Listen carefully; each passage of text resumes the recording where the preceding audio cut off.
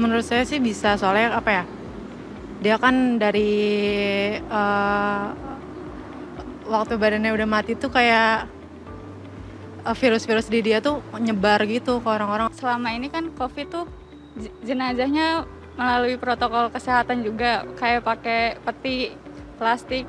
Berarti kan udah ada udah ada penelitian yang otentik gitu, jadi kayak bisa menurut saya. Masih lah, Kenapa tuh? kan itu apa kayak kayak kata bangke aja kan masih ngeluarin virus apalagi itu yang katanya terpapar covid ya Kalau misalkan virusnya bukan corona pun jenazah tuh masih bisa. pasti bisa dong pasti itu karena kan kondisinya udah nggak bernyawa lagi gitu jadi udah apa sih uh, udah nggak tahu ke- otomatis udah ketua lagi gitu Udah mati semua. iya Bisa nularin virusnya mas. iya betul Saya katakan jenazah itu ketika meninggal tiga jam setelah orang dikatakan meninggal itu potensi untuk penularan. Kenapa?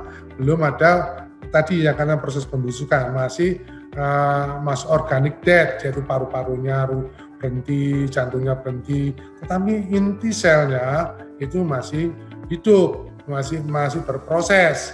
Nah, makanya sel-sel apa bakteri uh, virus yang tinggal di dalam sel potensi masih hidup di darah masih uh, hidup makanya potensi untuk penularan ada. Tetapi kalau sudah di, ditanam sudah diga sudah, sudah di apa, dimakamkan ya sudah lisis sudah mati lebih 20 apalagi sudah pembusukan itu sudah tidak ada bisa menular begitu. Penularannya dari tidak ada tidak ada tidak ada lagi. Jadi tidak mungkin menular lagi. Nah ada potensi potensi penularan. Nah, potensi itu kapan terjadinya? Ya, ketika ter- mereka tersentuh atau ter- terpapar oleh cairan-cairan tubuh. Ya, cairan-cairan tubuh. Nah, keluarnya di mana cairan tubuh? Ya, kita kan tidak tahu juga masyarakat. Oleh karena itu, untuk menghindari paparan itu, maka diperlukan pembungkus plastik agar tidak terpapar. Kalau dibungkus dengan kain kafan toh, nah itu ada ada darah cairan yang masuk ke dalam kainnya itu nah itu kan masih basah itu potensi yaitu kalau memang uh, orang ada luka di di tangannya atau tidak pakai sarung tangan nah itu bahayanya terpapar. Oleh karena itu petugas kami di rumah sakit hampir seluruh rumah sakit saya terus harus memakai standar namanya universal precaution di mana petugas yang memberi perawatan jenazah itu mulai dari ruangan sampai di kamar jenazah waktu memandikan harus menggunakan prokes protokol kesehatan yaitu harus pakai masker, pakai bukel, pakai skop semuanya, pakai pakai sepatu boot itu harus uh, misalnya punya standar ya bukan levelnya bukan level satu kayak di di ruangan yang masih hidup tapi ya level 2 3 lah gitu ya. Tapi tapi tetap menggunakan menggunakan protokol kesehatan menggunakan bukel masker semuanya seperti itu. Dan uh, apa airnya harus mengandung klorin yaitu yang uh, untuk menyiram itu agar uh, cairan atau darah yang masih keluar dari tubuh jenazah itu yang punya potensi bisa mati ya. Bagaimana masyarakat?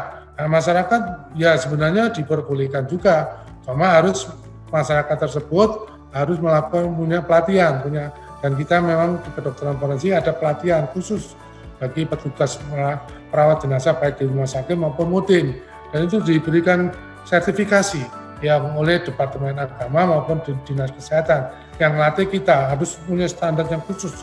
Kita kalau ditanya apakah perlu untuk makam khusus tidak perlu, sebenarnya tidak perlu. Tapi ini masalahnya masalah uh, psikososialnya, dari masyarakat ketakutan berlebihan. Karena itu maka diperlukan suatu bentuk perawatan yang lebih khusus di tempat yang khusus. Dan sekarang sekarang sebenarnya tidak perlu karena masyarakat sudah paham cara penularannya tidak melalui sentuhan langsung daripada jenazah yang sudah dilakukan itu harus melalui droplet kalau masih hidup. Dan ini uh, masyarakat harus paham harus diberi pemahaman